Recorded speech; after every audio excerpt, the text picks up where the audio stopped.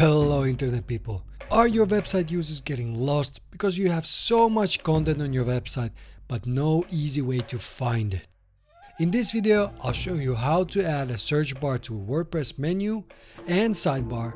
For the menu we will need a plugin and for the sidebar WordPress has a built-in widget. Arnie, how do you feel about search bars?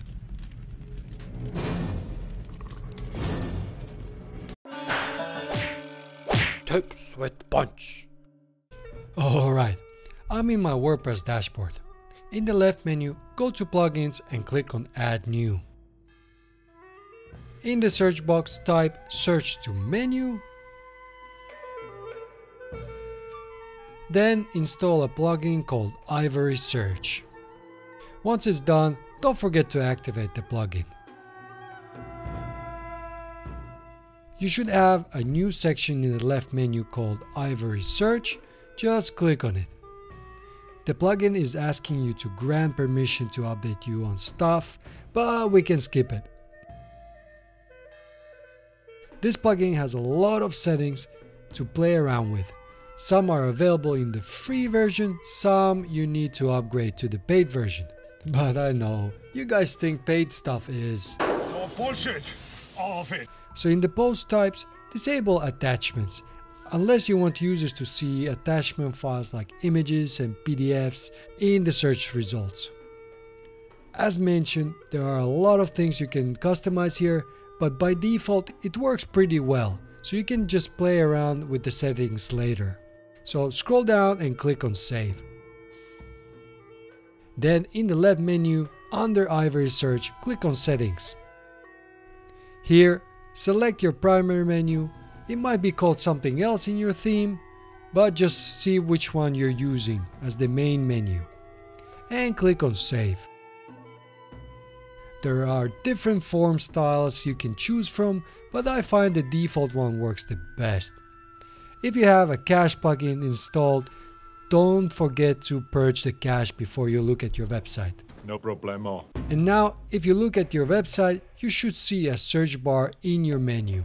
Please note that yours might look different. It really depends on how your theme has been built and styled. Now, you can search anything on your site just by typing some keywords and then you will land on the search results page. By the way, if you are using Google Analytics, I have a video on how to start tracking what people search on your site. The video will appear in the top right corner right now. Arnie, give them a preview of the tutorial. I'm a cybernetic organism, living tissue over a metal endoskeleton.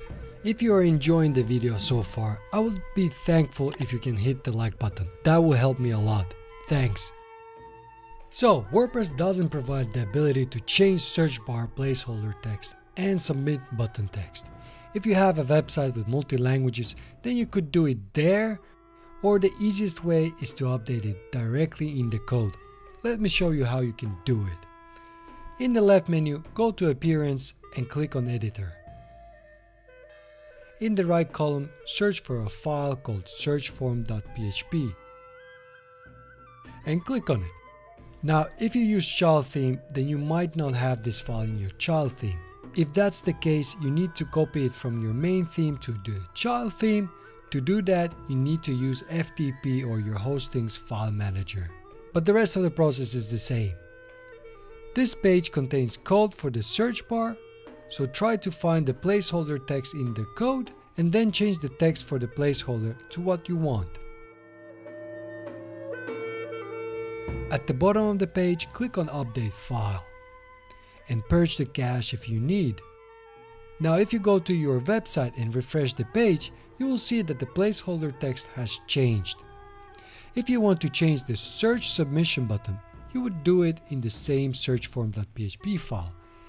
But you have to find the HTML element that is called button and which also has type equals submit and change the value to what you want. But make it as compelling as this guy. My wife, my soul, my sweetheart, my only woman. Alright, next I'm going to show you how to enable search bar in the sidebar. And this is something you can do without a plugin. In the left menu go to appearance and choose widgets. Here, scroll down until you can see search in the available widgets. Then click on it. Choose where you want the search bar to show up and click on add widget. Now you will see that there is a new widget in your sidebar. If you want, then give the search field a title and save the changes. Again, if needed, clear the cache and head to your website and refresh it. As you can see, the sidebar has a search field now. Great job! My name is Robert, and if you're looking to master the digital world while getting entertained, this is the channel for you. So hit that subscribe button and find the bell icon so that you get notified about new videos. Here are two videos that I think you will find useful. Whoosh!